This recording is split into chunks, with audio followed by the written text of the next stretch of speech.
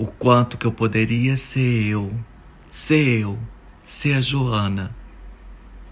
E que o resto, tudo ficaria bem quando eu pudesse ser eu. Agora vamos falar da Joana, de mim, tá? Eu Desde que eu nasci, eu senti uma rejeição muito grande na minha vida. Ai, coitadinha. Deixa eu desabafar, comadre, por favor.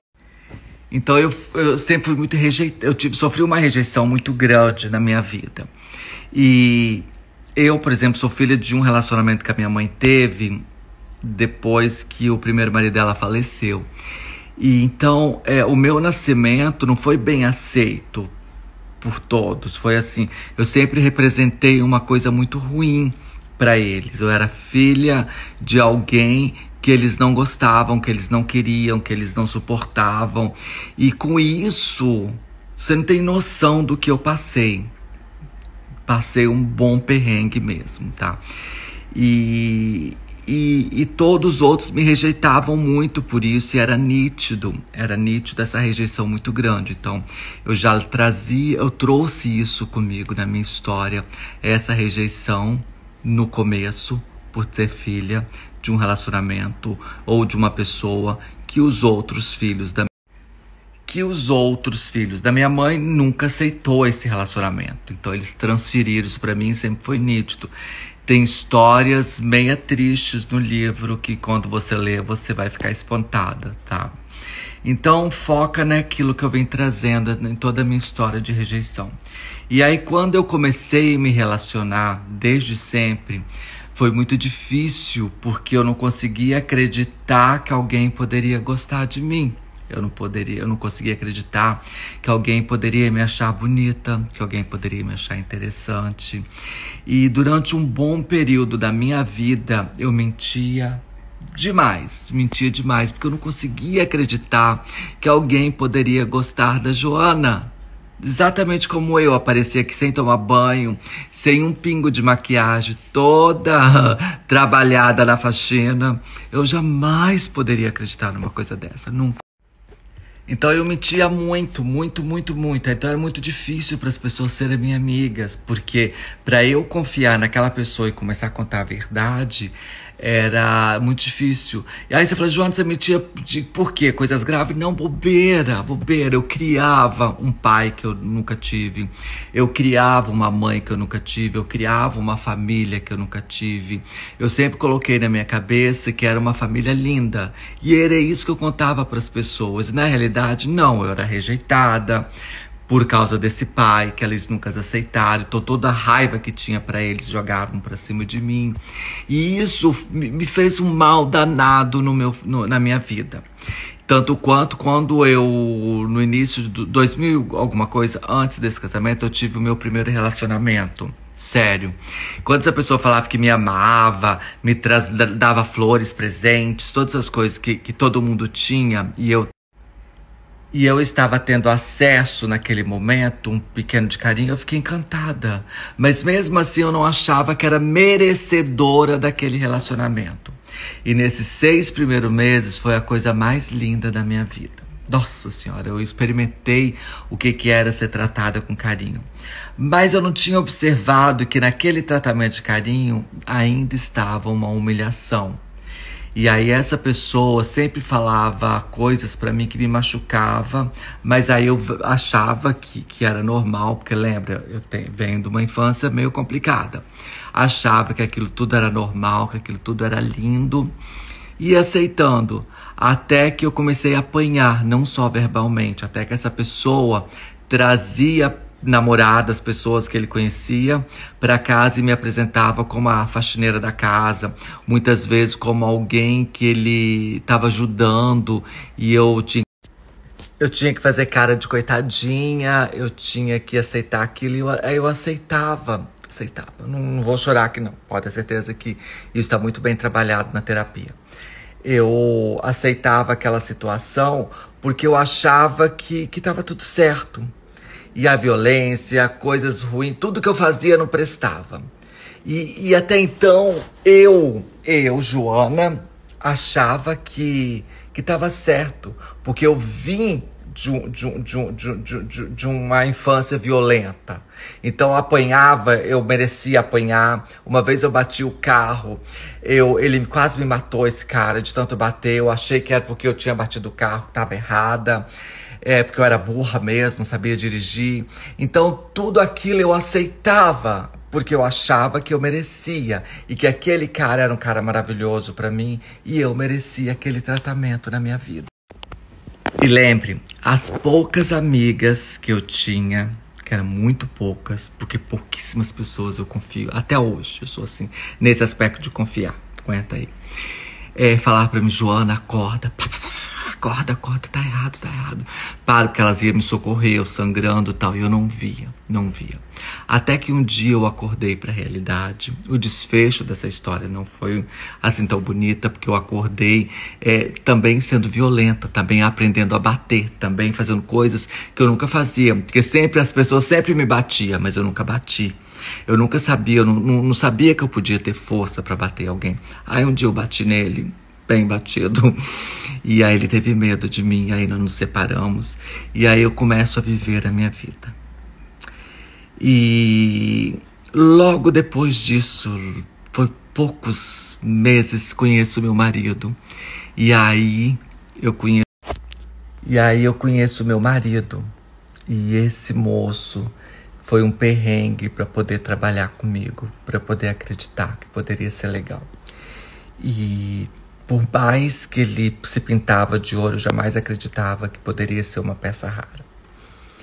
E até que, com o passar do tempo, eu parei de acreditar que eu não era merecedora de um amor e eu comecei a deixar com que houvesse, com que as pessoas me elogiassem. Por exemplo, aqui em casa, com toda a família, nossa, que comida gostosa! Eu não acreditava, eu não, acredit, não conseguia acreditar que eu poderia fazer algo de bom. E isso incomodava muito a família toda. Eles, Joana, calma aí, calma aí. E aí eu comecei a viver a minha realidade. Eu comecei a contar para as pessoas a minha realidade. Eu comecei a viver a Joana. E isso só aconteceu quando eu conheci meu marido. Um troféu numa bandeja que ele sempre gostou de expor. Ele sempre me apresentou para a família toda, me envolveu em todo o esquema da família, e eu sempre lá e eu não sentia merecedora, e sempre esperando que o pior poderia acontecer, que eu já tinha essas histórias assim. E com o meu marido, eu acredito que nos três, quatro anos foi os piores anos da vida dele no relacionamento, os piores anos do relacionamento, que era tentar me provar o tempo todo o quanto eu era bonita, o quanto eu era capaz, o quanto a minha comida era gostosa, aí a família vem junto, o quanto que eu poderia ser eu, ser eu, ser a Joana, e que o resto, tudo ficaria bem quando eu pudesse ser eu. E esse moço, ele fez de um tudo, de um tudo, de um tudo esse moço ele fez de um tudo para provar para todo mundo que eu poderia ser eu. Ele fez de um tudo que eu para provar para mim que estava tudo bem, que eu poderia acalmar, que eu poderia contar das minhas dores, que eu poderia aceitar elogios, que eu poderia ser bonito. Então, de, de, de, um sentimento que eu tinha por ele de simpatia se tornou um amor muito grande, uma, um respeito muito grande. E com ele eu aprendi o que, que era relacionamento, o que, que é, é uma vida a dois, foi ele que me ensinou. E eu com ele eu entendi que tá tudo bem comigo. Com ele eu entendi que não tem nada de errado comigo, que está tudo certo. E por que, que eu estou fazendo esse desabafo com você? Para chegar no X da questão de ontem, quando eu falei. Para eu falar para você que quando eu falei assim, não, jamais eu quero pensar em olhar para outra pessoa ou começar. É que eu não quero mesmo, tá tudo bem no meu relacionamento. Eu não quero pensar que um dia eu possa olhar para outra pessoa, que um dia eu possa querer ou desejar outra pessoa. Então, quando as pessoas me olham na academia ou me desejam, eu falo academia que é o lugar onde eu convivo, que eu vejo as pessoas todo dia. eu não consigo perceber, eu não consigo sentir, porque meu, meu olho minha mente é muito voltada para o meu relacionamento. Daí entra a religião, que eu acredito que o meu casamento é eterno para a vida toda, e para outras coisas. E meu marido me dá a segurança que eu preciso de acreditar que está tudo bem no nosso relacionamento. Claro que eu tento colocar o pé no chão e saber que isso um dia pode acabar, entendeu? Ou ele decide não ou ele não me decide querer mais, ou eu não decido, ou até que a morte separe. Então, ontem eu disse isso, foi por isso. Não, jamais, isso nem passa pela minha cabeça. E do outro lado, quando eu achei engraçado, é porque de vez em quando eu tenho esses rompantes. Quando eu sei que alguém me protege. Quando alguém me pega no colo e fala, não, ela é minha. Quando alguém, é, da forma que ele fez ontem, ele fez isso. Quando ele percebeu que o cara estava me olhando muito, muito exageradamente, ele veio e me abraçou e me deu um beijo e olhou pro cara bem sério. E eu não tinha percebido. Aí só depois do beijo que eu vi um clima meio estranho. E, e quando ele faz isso para mim, eu me sinto, uau, eu sou amada. Uau, eu sou querida. Uau, eu tenho alguém que me protege. Uau, eu não sou mais rejeitada. Então é isso. E por mais e por mais que você pense, nossa, Joana, mas quando você reconheceu que você era rejeitada? Gente, eu acho que com um bebê na barriga da minha mãe eu já sabia que eu, que eu, que eu, que eu era rejeitada. Porque é, o ódio, como eu falei, o ódio que ele tinha pelo meu pai foi transferido para mim. Isso foi muito difícil. E hoje, quando eu tenho alguém que me protege, me segura. Não é nada agressivo, não, tá? Meu marido ele só não gosta de sentir que o terreno dele está invadido. Então, quando ele me protege, ele me cuida. É, igual ontem, ele viu que eu comecei a ter um pouco de, de, de burnout, porque eu tenho trabalhado bastante.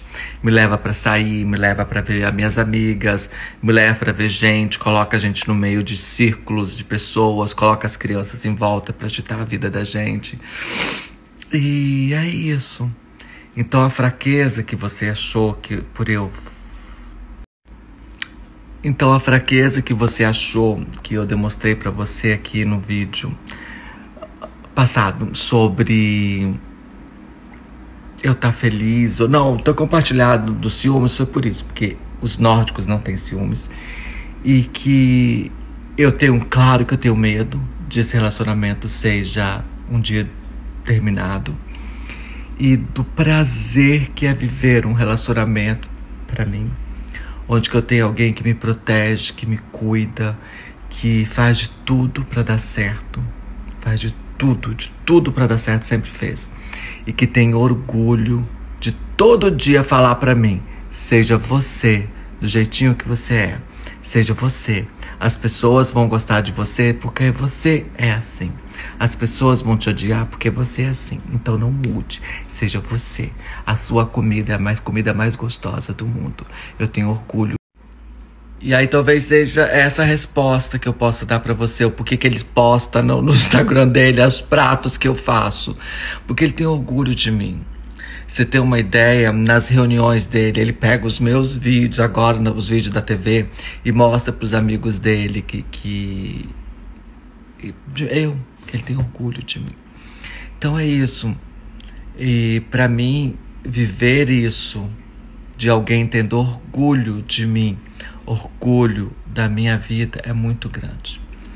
E toda exposição que eu faço minha na internet é para que seja exemplo um dia para você. Então, se algum dia você não se, ou não se orgulhar de você, ou se você não se orgulhe de você, não faça o que eu fiz. Não crie personagens. Não, não faça isso. Você só vai afastar as pessoas de você. Porque foi que foi essa experiência que eu tive na minha vida. Foi essa experiência que eu paguei caro, caro, caro, caro, caro. Que quando eu criava personagem para as pessoas, era porque eu não tinha medo de ser eu e as pessoas não me aceitar do jeito que eu sou com os meus erros, com os meus acertos, com os meus. comigo. E aí, quando eu vejo um relacionamento como eu tenho, que tá tudo bem, tá tudo bem ser eu, tá aí você quer contar para você que que maravilha que é ter alguém que te ame e que te aceite com seus erros, com seus defeitos e com a sua história. Então é isso. Bom dia.